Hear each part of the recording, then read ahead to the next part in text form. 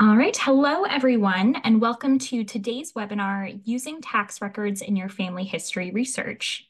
My name is Kathleen McKenzie, Education and Programming Manager here at American Ancestors, and I will be moderating today's session. This program is brought to you by the Brue Family Learning Center. American Ancestors is a nonprofit organization supported by our members and donors.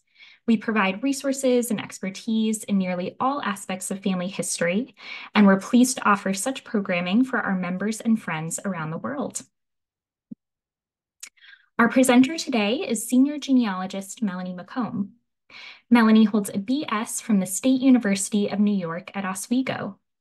She's an international lecturer who teaches on a variety of topics, including colonial through 20th century American military research, genetic genealogy, Atlantic Canadian, African American, Jewish, and Irish genealogy. She's also an honorary fellow of the Massachusetts Historical Society. She has had articles published in American Ancestors Magazine and 50 Plus Advocate. She is also a blogger known as the Shamrock Genealogist. So as genealogists, we may be the only people around who can find an upside to the old adage, in this world, nothing can be said to be certain except death and taxes. After all, if uh, no one can escape taxes, then that makes tax records an ideal record set for family history research. In this lecture, Melanie will provide an overview of U.S. tax records. This includes the type of tax records available, where to locate records, and how the information in these records can advance your research. At any point during today's presentation, please feel free to type your questions into the Q&A panel at the bottom of your screen. We'll address those at the end. There is a, a syllabus available for this presentation, and the link will be in your follow-up email today, and I'll also pop it in the chat in just a moment. This presentation is also being recorded for later viewing on our website and our YouTube channel. All right, so without further ado, please join me in welcoming Melanie. Hello and good afternoon, everybody. I'm sure taxes are very much on your mind as we recently just had tax day on Monday, April 15th. So hopefully your taxes are out of the way and already submitted off to the IRS if you're living in the United States and we're going to be talking more about how you can use them in your genealogy research. So why tax records? This was an idea that I proposed doing a lecture on because I think it's an underutilized record set that not many genealogists are using because it identifies your ancestor at a very specific place and time which is why I think that's to be really valuable because that will help you build out a timeline, help you figure out if there's two people by the same name, for example, and just knowing if they maybe had moved or died when they have dropped off those tax rolls. These tax records can also give you a lot of good information, such as what type of occupation they're currently working at, if they own or rent their own home, and other information that maybe you just don't find in other records a lot of the earlier published genealogies that we see out there don't actually always recognize tax records, which is why it's another record set that you can go back through some of those earlier published genealogies to fill in some of those gaps. And it just adds a little more context on the life story of your ancestor. Now, there are some challenges with tax records to note. First is that not all records survive at the different levels. There could be tax records at the town level, the county, or state, as well as certain federal records as well. And they're often not always indexed, which means they're not always searchable on a lot of the different genealogy sites. Sometimes you might need to go out to sites like Family Search or even out to local repositories to look at those records. And they're not always easy to understand. They're often used for financial reasons or potentially for um, counting the number of residents in a particular town. Um, but usually they are having a different context than for genealogy purposes. So it helps to have some of that historical context of why the tax was being used and how you can learn more about it. And then, of course, there are just separate repositories based on those different levels of taxation that exist. So you may need to request tax records at a federal level, such as through the National Archives, your local state, or even your town records as well. We're going to go over a history of the US tax system because this is going to help give you context about how tax records are being used and what the tax was being used for. When towns were first being incorporated in the colonies, especially we look at the early New England, the town was responsible for electing or appointing a tax collector or sometimes a constable to actually go out and solicit the tax that was being collected for different uses. The town is going to use those taxes for repairing roads, schools, paying local ministers, uh, paying any other local funds that need to be done, maybe local militia as well. So there's a lot of reasons why they'd be collecting those taxes. And today we're still paying uh, local uh, town taxes as well that you might be finding um, at that level. And oftentimes these town taxes are going to be recorded in what's known as the the town records. So like the town meeting minutes, for example, that you can find with a lot of those digitized online. This is an example of a ta tax record, really the beginning of the tax record, which describes what is actually being administered. This is out of Stoughton, Massachusetts in 1738, and it's a list of the part of the ministerial and precinct rates to be collected by Samuel Belcher, who was one of the constables of the town in the year 1738, as a proportion to us by the subscribers and assessors for the first precinct in said town. And this is what the actual tax list would look like. So you would have the names of the taxpayers on that first column there. And usually you're going to find that they are going to be uh, male, 16 or older. However, you also could see cases of widows, for example, being listed there, as you see in the case of Anne Sumner, uh, listed under William Sumner with Nathaniel Sumner. Um, so depending on the different laws at the time, you're also going to find women listed as well. But generally, you're looking at someone that's going to be usually about 16 or over, and that's why because they're going to be that's the minimum age for uh, military service that could occur.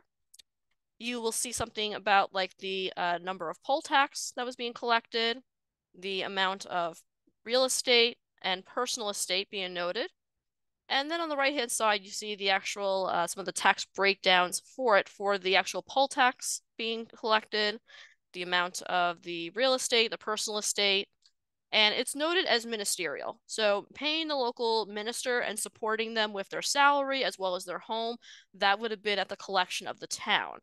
So unless you were able to prove that you were actually belonging to a different church that was not being supported by the town, that ministerial tax was being collected.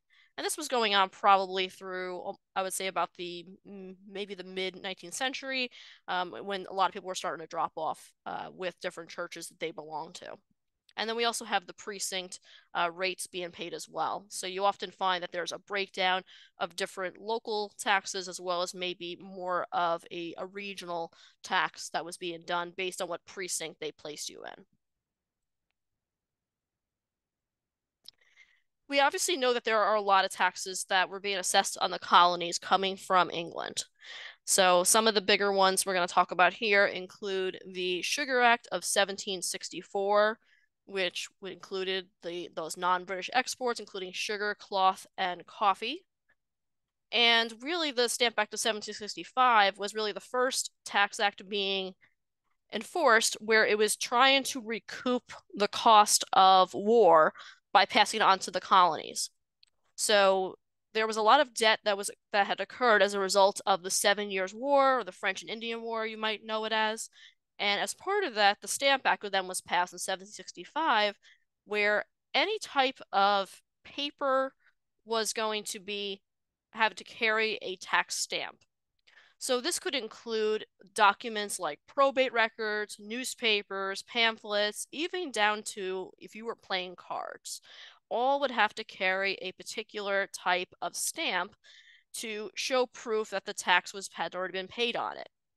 And there was so much outrage in particular about this particular act that it was repealed the next year.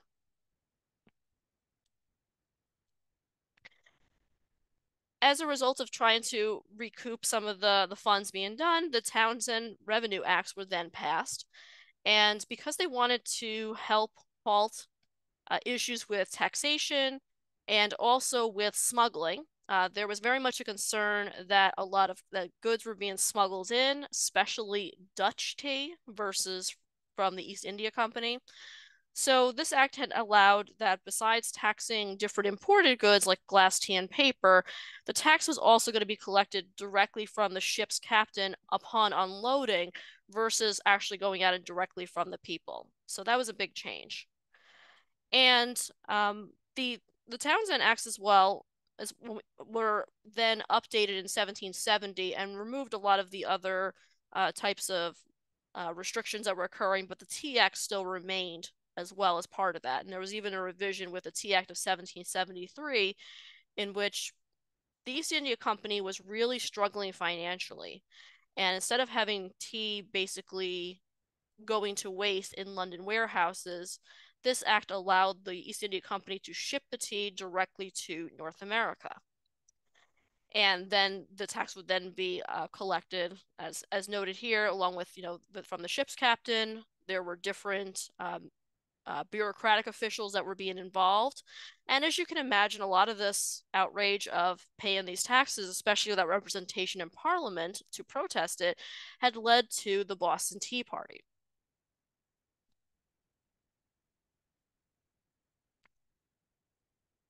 As a result of trying to recoup uh, some of the different uh, funds outside of for the Revolutionary War that took place, Shays Rebellion was really one of the first few armed uprisings against uh, as a potential overthrow of the government that had occurred between 1786 in Western Massachusetts and in Worcester, Mass.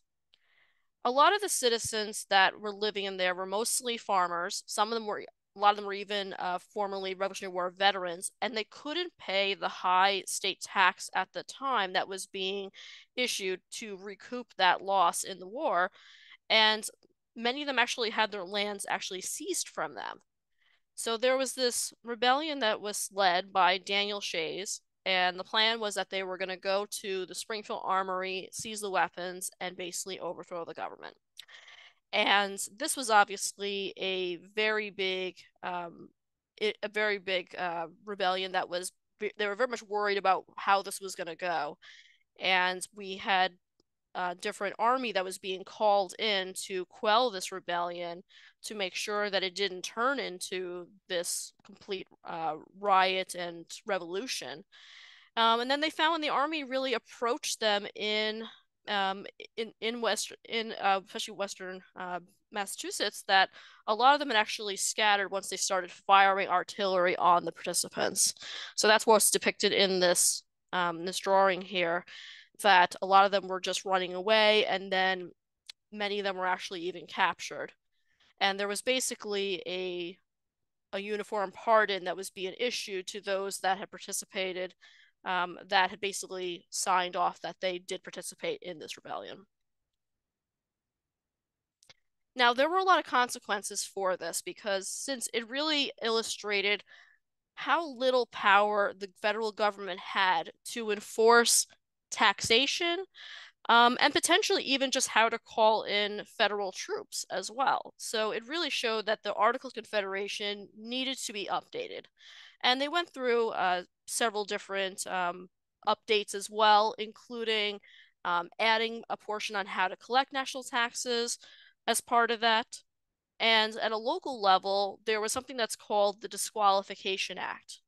The Disqualification Act in Boston basically punished those that had participated in this rebellion where if you were um, found guilty you and there were names that were collected you could not serve on a jury you could not vote you could not hold public office you could not work as a schoolmaster an innkeeper or a liquor salesman for up to three years So it was a heavy penalty um, to be involved with this. And once this taxation started being passed through the Articles of Confederation, um, there was uh, this rebellion ultimately led to the Philadelphia Convention of 1787 and the Constitution, which really started to enact a lot of these powers of the federal government. The next type of tax I'll talk about is the Distilled Spirits Act of 1791, which was informally known as the whiskey tax. This was a direct tax on whiskey and other spirits that were produced in America and was used to help lessen, again, the financial burden of the Revolutionary War. And during this time, if you, in order to help enforce this, there were actually were tax collectors that would um, not only collect the funds but also inspect the the, um, the different uh, stills that were being used to distill the liquor as well. So they had a good idea of who actually was producing the liquor as well. And as you can imagine, that led to another rebellion.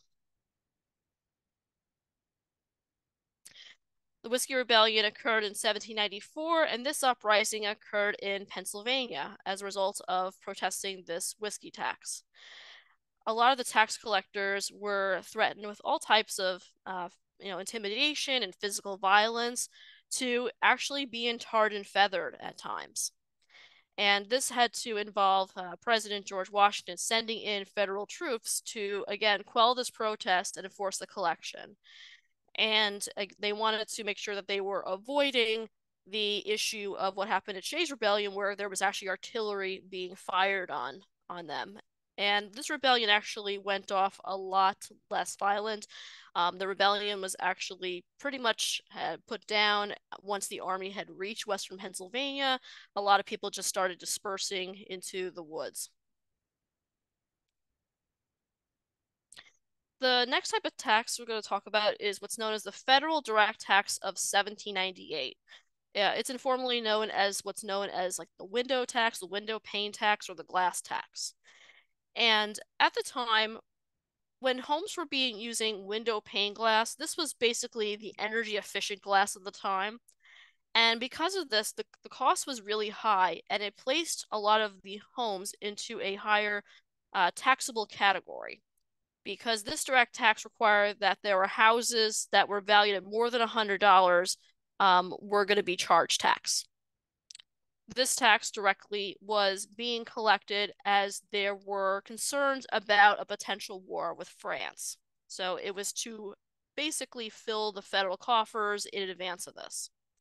Now, the federal direct tax gives us a lot of good information about if um, someone owned their home, if they rented, what their home even looked like. And some of these state lists survived, and we'll show an example a little bit later in our presentation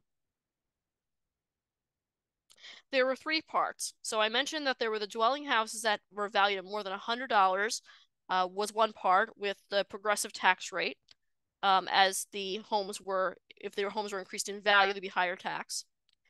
If you were an enslaver, you actually were charged uh, 50 cents per enslaved person for anybody that was able to work between ages 12 and 50. So someone that was not permanently disabled or ill and any other real estate would which could include homes that were valued at $100 or less were also charged a fixed uh, percentage tax. As we move on, you can start to sense a theme that we needed to have taxes to start funding the War of 1812. These series of taxes uh, started to look at things like the actual auction sales, the sale of actual carriages, distilleries, retail licenses, and refined sugar. And this law was then repealed after the war was over in 1815. Next, we start getting into the Civil War with the Revenue Act of 1862. So this tax was specifically to finance the Union cause. This is when we have the precursor to the IRS, and this was the Commissioner of Internal Revenue. And this in this tax was levied on all states and territories that were not as part of the Confederacy that were in rebellion during the war. And when Union troops took over certain states, they were then put into that tax base. So, for example, even though Georgia didn't formally get readmitted to the Union in 1870, they actually were taxed in 1865 when Union troops took over. With the Commissioner of Internal Revenue created in 1862, which was later named to the IRS in 1953, or the Internal Revenue Service, this formed the system of dividing the United States into what's known as collection districts. So every district had their own collector and assessor, and then it was further divided from a district into divisions with an, an assigned assistant assessor. These created two separate lists that you could find people on those that actually had lived in the division and those that lived outside the division but had any kind of property in the division. So you could be assessed tax based on where your your residence was as well as where your real estate lied. Next, we have the Revenue Act of 1898, which was to fund the Spanish American War. And this is when we start seeing of what's known as the predecessor to the estate tax where the tax was only being assessed on the physical estate and not necessarily those that were being the beneficiaries of it. So only personal property was taxed and any kind of like real estate for example that we find especially that first 10,000 which included property that would have gone from husband to wife through dower was actually exempted. So in a lot of cases we're really just talking about a small portion of the estate being taxed at that time. And then there were other goods that were being taxed later on, including gum, beer, um, going to the theater, pawnbrokers, insurance, wine, tea, and tobacco, etc., and other means. The 16th Amendment was ratified finally in February 13, 3rd, 1913, and it established the right of Congress to impose a federal income tax. And there obviously were a lot of challenges with passing the 16th Amendment. I think a lot of people didn't think that it was going to happen as a result of all these different changes in the Revenue Acts, but it was uh, formally passed and it, it still has some obviously some uh, disagreement from even congress today of, of people that uh, don't believe in it. But this is a way of where we really have that federal income tax finally being formalized where in addition to just taxing people on goods now we could tax people on their actual um, their, their income their salary that they're being paid out. As we move on into World War One, in addition to the Liberty Bond um, effort, which was helping to fund uh, the war effort. There also was the Separate Revenue Act, which had generated some of that income. So this would have taken taxes out of direct income, uh, profit, estate taxes, um, as well as other as well as other uh, taxes as well. Because it was found that before World War One, that the custom and excise taxes had generated approximately three quarters and with this act, it then reversed it so that the taxes coming from uh, personal individuals and companies and estate taxes were now generating the majority of the federal revenue tax. In 1942, um, there was another tax that was issued out. In this case, it was a, a 5% flat tax on anybody that had individual income over $624 and this was actually determined because they were um, with this number because they were actually um, increasing the personal exemption amount for married couples. So thinking about that tax amount that you would have been able to deduct from your salary, that was actually increased. Ta- corporate tax rates were increased. Individual income tax rates were, were increased. So this flat tax was um, was was something that was being passed. And there also was the first time of really creating deductions for medical expenses. Now, as part of this effort to make this seem as a patriotic act, um, the lyricist Ir- Irving Berlin, who had written God Bless America, which I believe was introduced in 1938, was actually asked, um, he actually was volunteered to write a song to aid in this tax collection effort where it actually actually um, had the song called "I Paid My Income Tax Today." So, and you can actually find it online. So that was a way to um, encourage people to show, like, you know, I can show my patriotic duty by paying my income tax. Now that we've reviewed the history to give you some of the context, now we're going to talk about the different types of tax records that you can research. Going back to the Revolutionary War, there was the concept of what was known as supply taxes. So because this was before Congress had didn't have the authority to levy taxes against the colonies, the states had to be uh, have a basically had to be asked to provide money and individual supplies, especially when you think about supplies going towards the Continental Army. So the taxes that were issued helped raise all kinds of supplies. So down to the clothing, the food, um, you know, the different materials to build um, ships and pay their troops, um, uh, bounty money, etc. All these different means to make sure that they could take care of the soldiers as well as even their families as needed as well. And when you're looking at the supply taxes, there are some really good guides that you can get from the Daughters of the American Revolution. And the Sons of the American Revolution guide is really broken down, even down by state, to even show you which supply taxes count for patriotic service. And those are in your handout. one of the common uh, supply taxes that we see is what's known as uh, affectionately as the beef tax. Uh, on the right hand side, this is from the Acts and Resolves of the province of Massachusetts Bay, in which the inhabitants of, of several towns were required to either supply cattle or the money to actually purchase beef for the Continental Army. As the Continental Army was having a, a lack of food, especially when you get into the winter months, there was a need to um, have this be sent out. And the beef tax is a really good way to show um, some of those local tax records that exist. This is an example from Chelmsford, Massachusetts in 1780. And you'll see at the top that it says that this is to fray the charges of raising the uh, the the, quant- uh, the quantity of beef with which the town are required to procure on the benefit of the army. So you really want to look at those descriptions because that really tells you what it's being used for. And then you get the names of the different individuals that had paid the beef tax, which are going to include both men and women in a lot of cases too, and how much was actually being collected.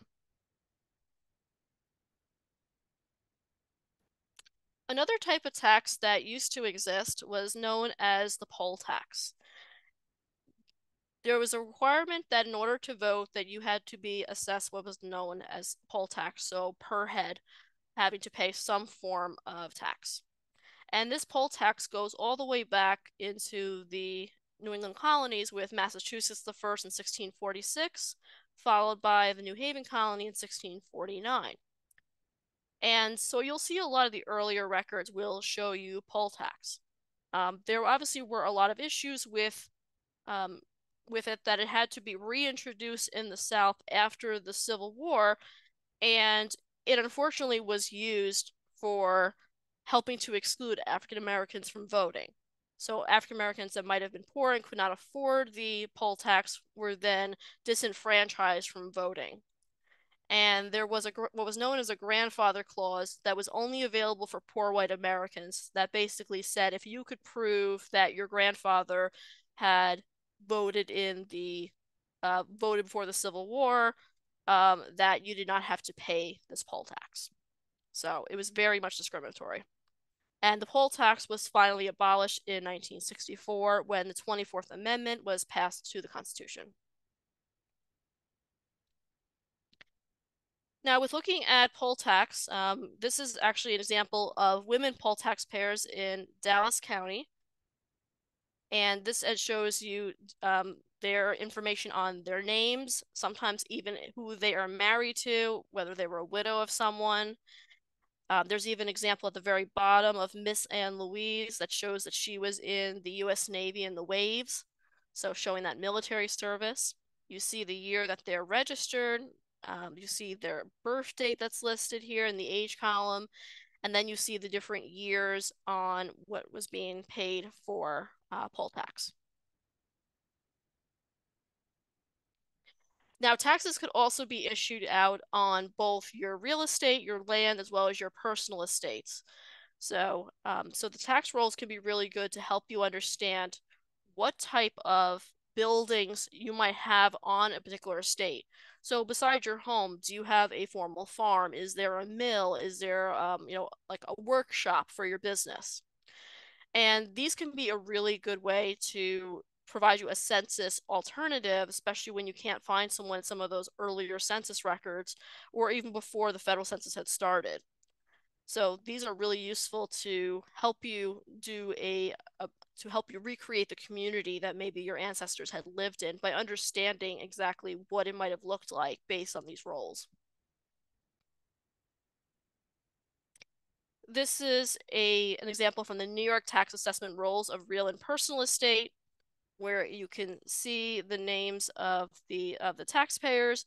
You could see the descriptions of what they had. So a lot of them had like a house and a farm, and there might have been other property as well. And then you see the value of the real estate and their personal estate and the tax to be paid out.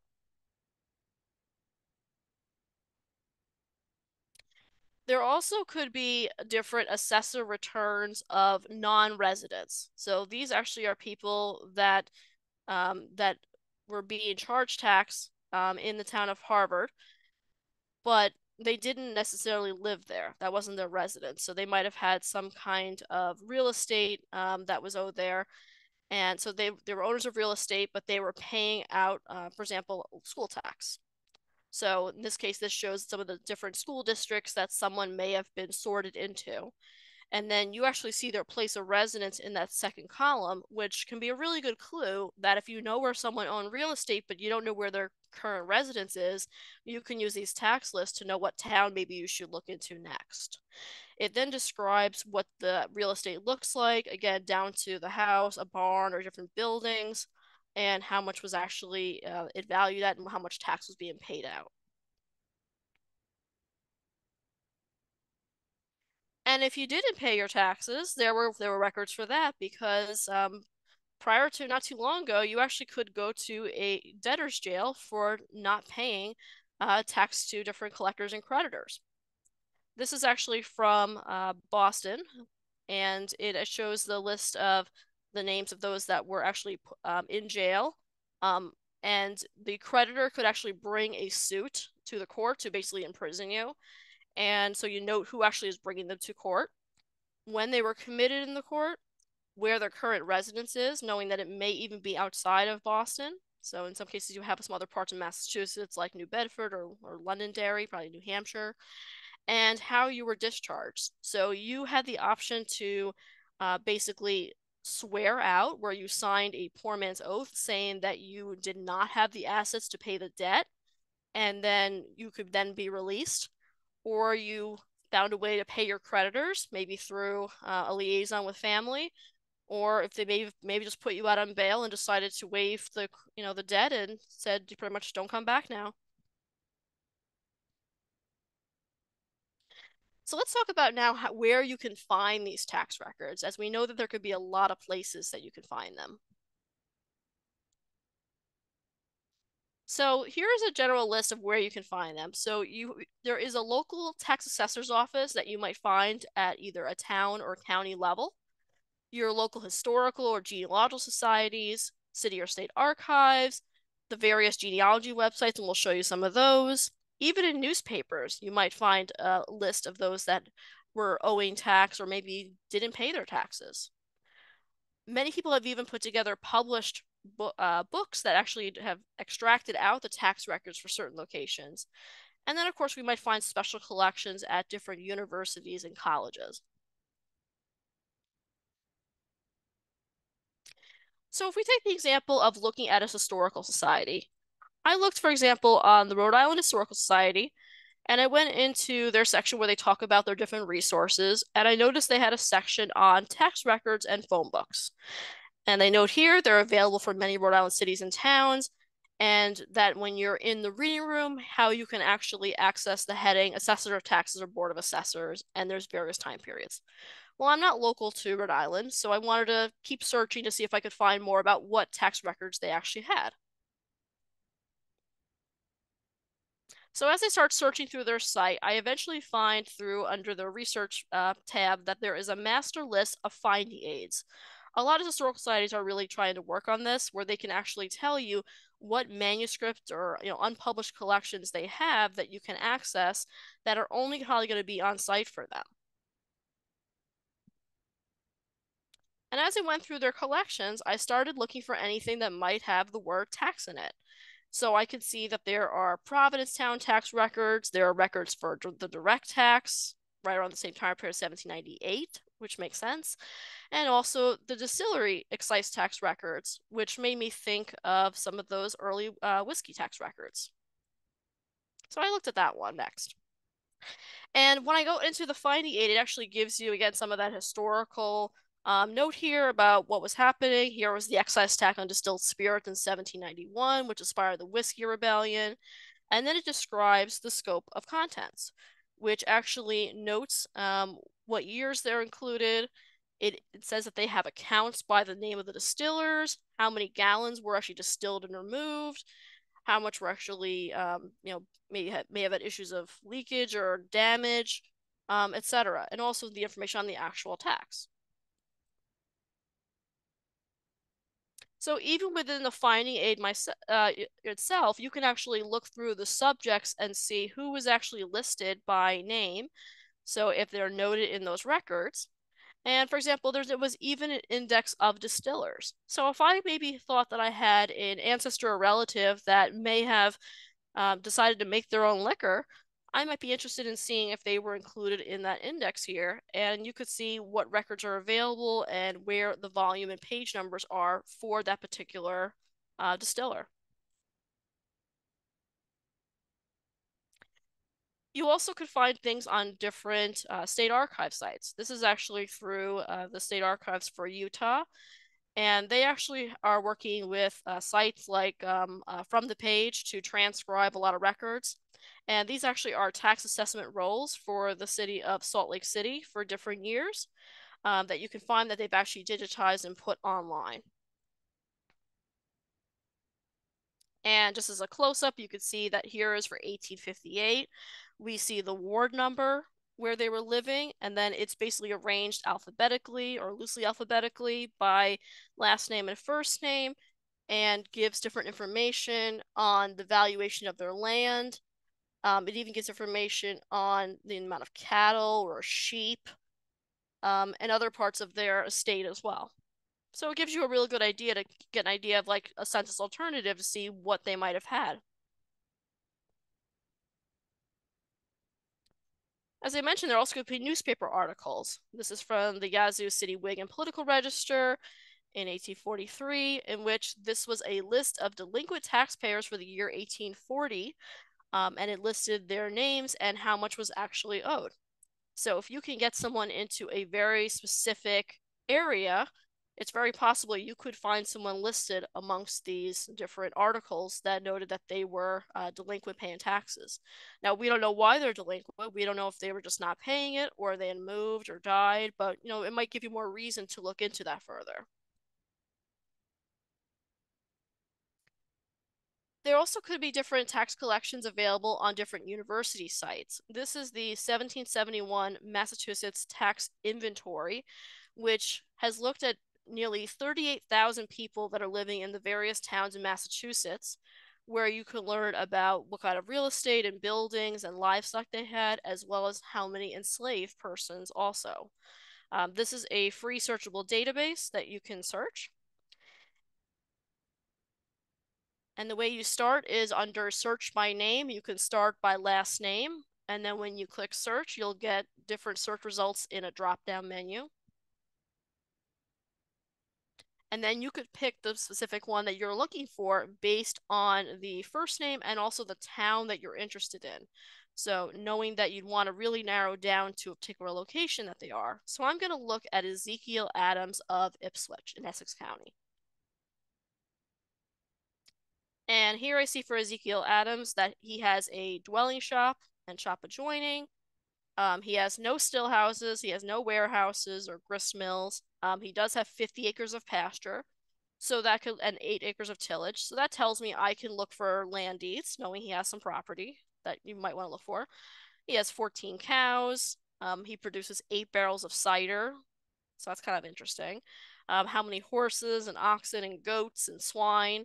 Um, he has no servants for life, so this is actually the term that's used for enslaved persons, and they would be listed then as a servant owner if they were an enslaver.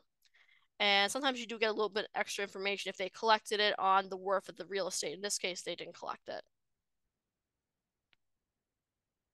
Or rather, it was 20. It was a smaller amount. Sorry. Um, so now we're going to take a look at tax records on our website, AmericanAncestors.org.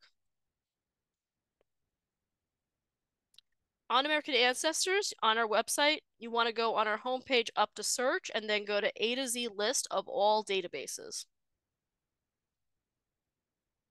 From here on the top right where it says search by database name, this is where you can enter a keyword. So if you enter in a keyword of tax, it'll bring up collections that mention tax in their name or in their description. And there's a full list in our handout. So some of the particular tax collections I want to highlight, for example, and this is not an inclusive list, we have the Massachusetts Maine direct tax of 1798. We also have uh, various uh, substitute and miscellaneous censuses from various states, including Massachusetts, Vermont, and New Hampshire, that we got in partnership with Family Search. So these can be really good when you're looking at alternatives for the 1890 census, as well as some of those earlier census records. As you can see, a lot of them precede the 1790 federal census as well. Now, the 1798 direct tax has an interesting story. Um, it actually was almost lost to history. Uh, years ago, uh, someone on staff at American Ancestors in our library had heard word that there were people at the customs house, the officials were actually starting to burn the pages for this direct tax. I think they felt that there was no use for it and that it was not, you know, important. And thankfully um, someone had rushed over and basically got the pages and we were able to scan them. I, I don't think we lost many of the pages which is good.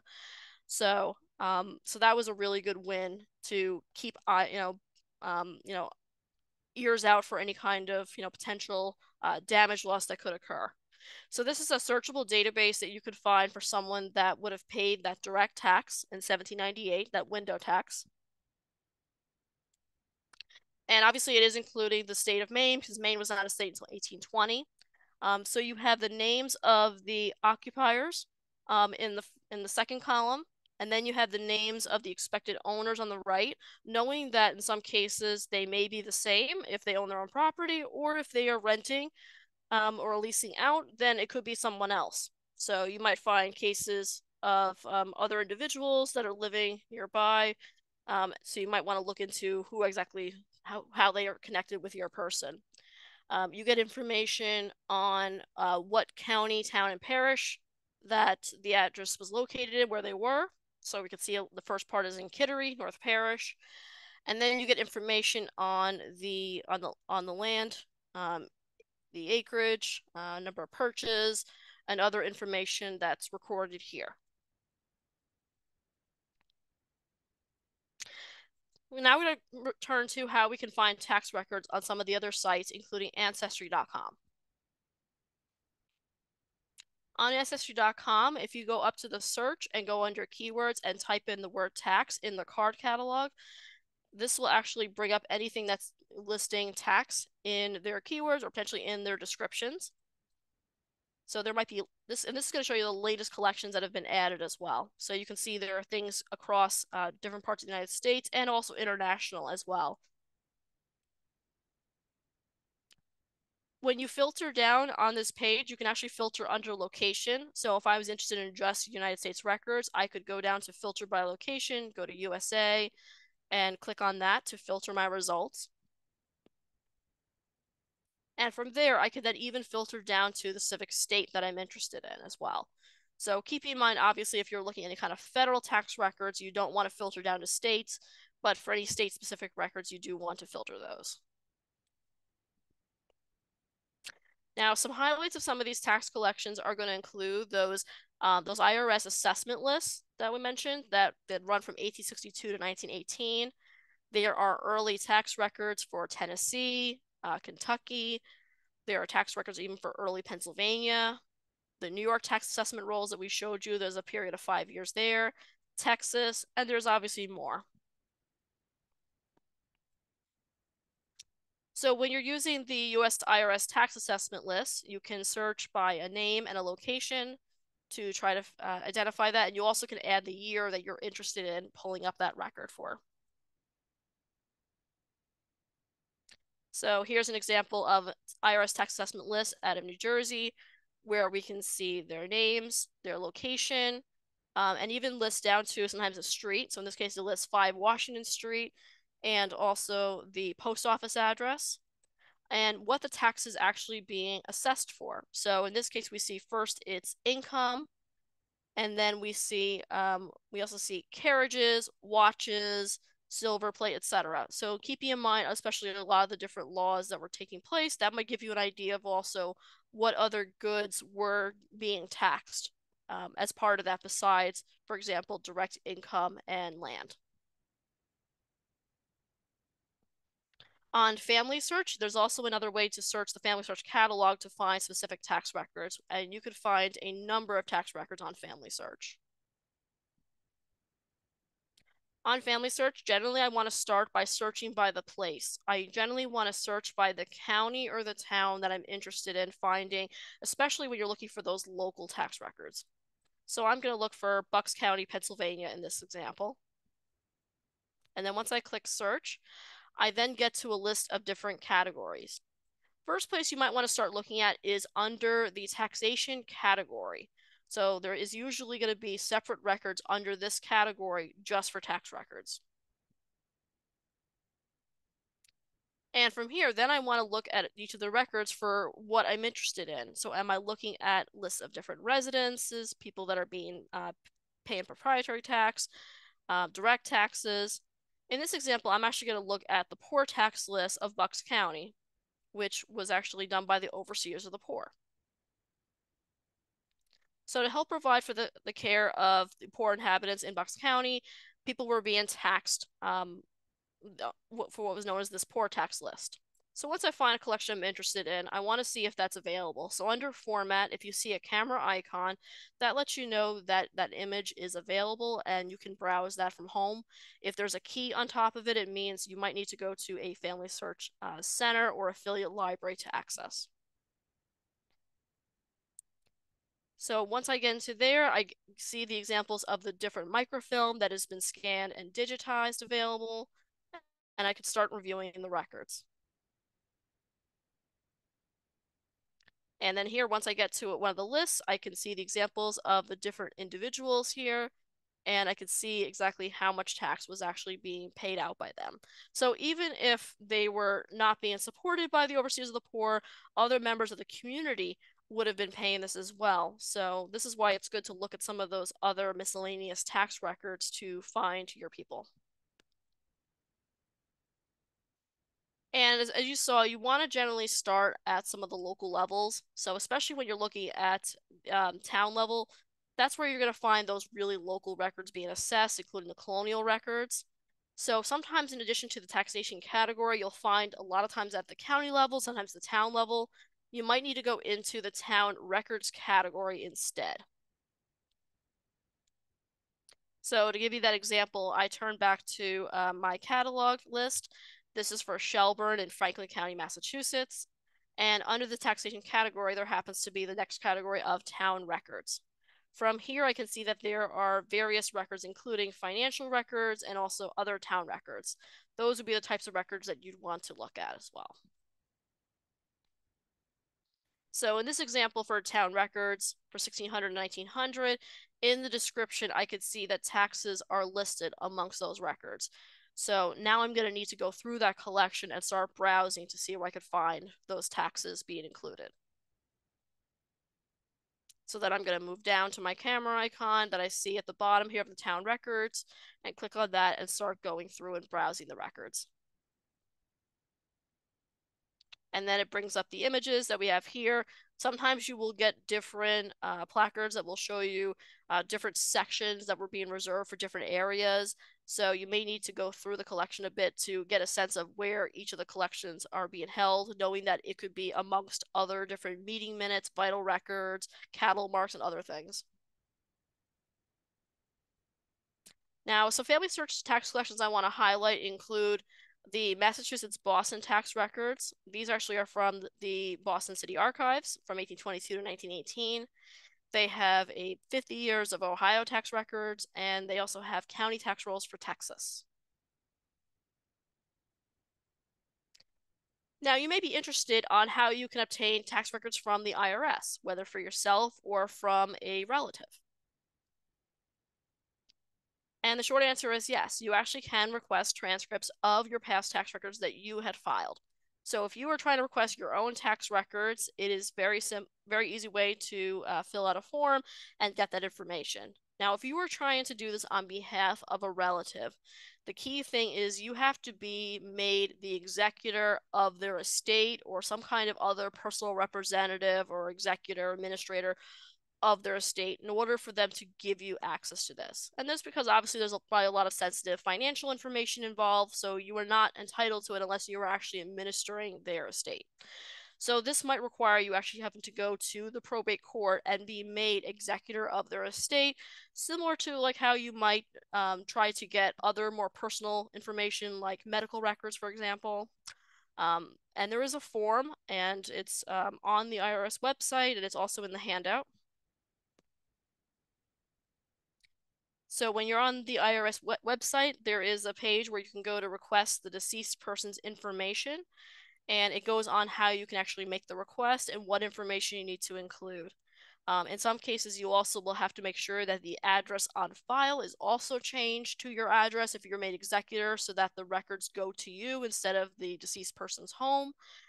And if you owe a balance to the IRS, um, well, if you're made executor, you better believe they're gonna come and uh, come and track you down as well to pay that balance off.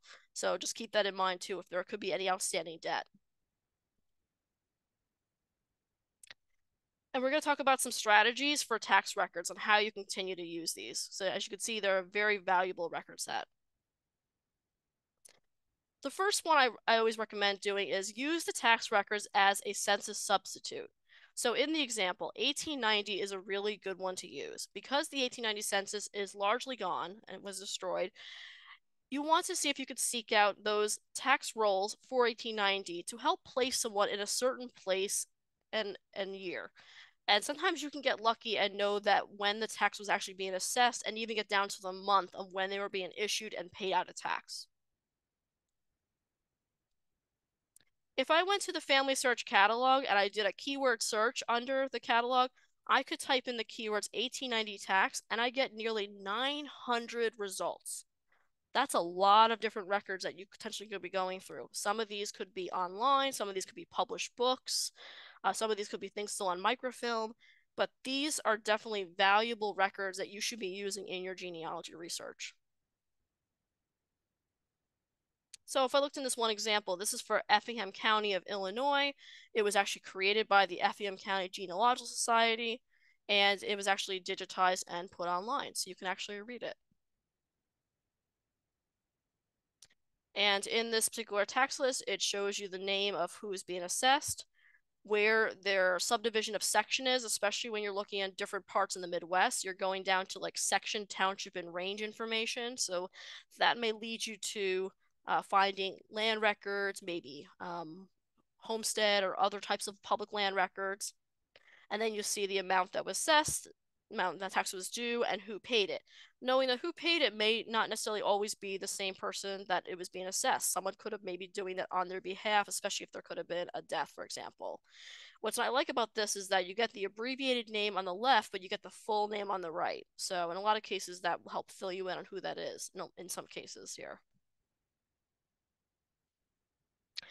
Taxes also indicate financial wealth because, again, it's going to tell you if they own their own property and what other things they own. So this will lead you to those deeds. And even just the types of buildings that they have can really help you describe what their family homestead might have looked like. And then, of course, you can use taxes to build a timeline. Think about all those years you could fill in by following the taxes over a period of time and even out of different places. So again, think think in think in mind that approximately ages 16 or older, especially in colonial America, if you were a free white male, you were required to pay taxes.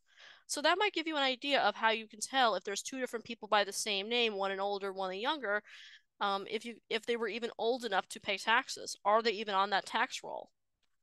If you're finding that there were free white single or even widowed women, they also would pay taxes especially if you were um, considered a white single woman, you might have been given what's called femme sole status, which means you could enter into contracts even though you do not have a, hu- a husband basically to administer with you.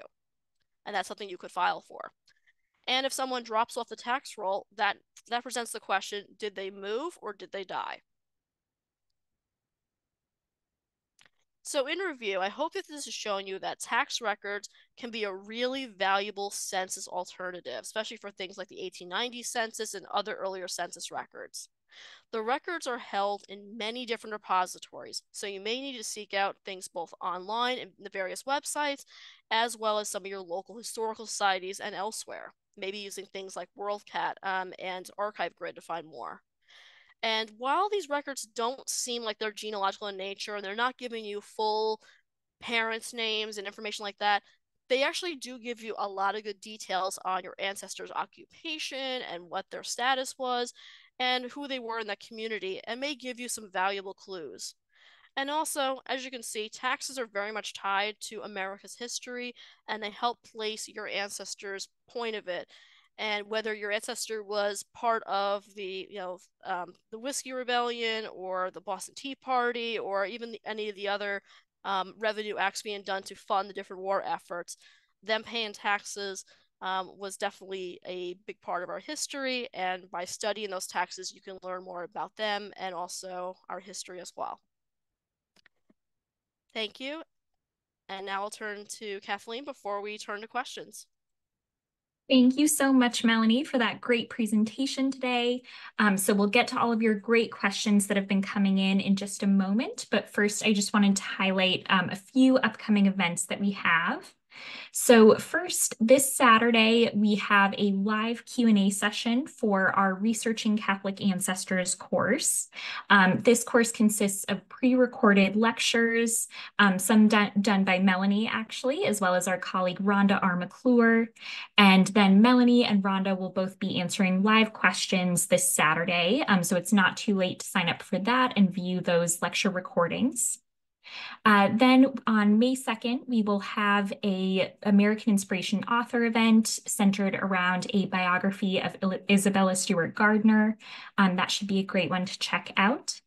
And then finally, we will have in May um, a pre-recorded course researching Connecticut ancestors, four centuries of history and genealogy. This is structured similarly to the Catholic Ancestors course, where you'll get access to pre-recorded lectures, and then we'll have a live Q&A on May 18th with all of the instructors. Um, and Melanie is actually working on that one as well. All right, so now we will turn to your questions coming in. So first, Melanie, um, you had highlighted all of the taxes that were introduced due to various wars. And we have a question asking if the taxes ended after the war ended. Yes, so as a general rule, even though I didn't put it on the slide, almost all of the taxes had after the war fund effort has been, was done, the war concluded, then they were then repealed later on. So you're going to find a very cyclical um, timeline in that, and I have listed a lot of the repeal dates in the handout as well, in case you're interested. Okay, great. Thank you very much. Uh, then a question here, are there tax records for slave ships from England, the Caribbean, and or the United States? Trying to think for so, so for for the ships coming over from um yes um so they say uh they're wondering about slave ships from England, the Caribbean, and or the United States. Okay. I will need to look into that. So if we can collect maybe that person's information, Kathleen, I can get back to them on that. Sure. Um, so for that person who asked that question, if you do want to email us, um, I would recommend emailing us at education yes. at nehgs.org, and we will um, absolutely get back to you on that. Okay, so then we had a couple of questions about poll taxes.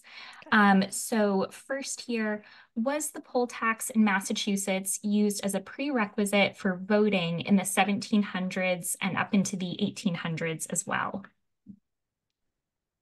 Yes, it was. Oh, great. All right. And then um, let's see here, another one. Did a poll tax for Massachusetts exist in Maine uh, after subjugation until King Philip's War um, in 1675 to 76? Yes. So, so when it was first passed um, in the in the colony, it was it was still around for quite quite a bit, well into the 19th century. So yes. Okay, perfect. Thank you. And then um, you had mentioned a site, um, a harvard.edu site for tax records. Um, and someone was wondering, does that include images of the original records or only transcriptions? It is only transcriptions and there is a published book that we have in our library but again it's it's also like more of a charts there's really not the original record per se of the inventory images i don't recall um, where those are being held offhand if they're at the mass state archives or if they're somewhere else Okay, great.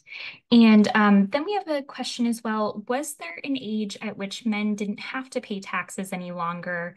Um, did they kind of age out?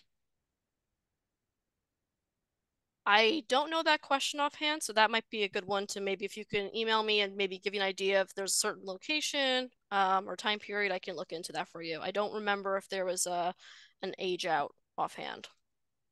Okay, perfect. Thank you very much.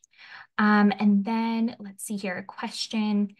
Um, when a tax list is grouped by a precinct, is there a way to find the boundaries of that precinct? Um, do you have any recommendations for that, Melanie? So I would say, depending on where the tax list is published, which is usually in the town records, I would look through some of the earlier parts of that town's records to see if they start listing when the precincts were created. So you might find those earlier on, and there might be some hand drawn maps that were done.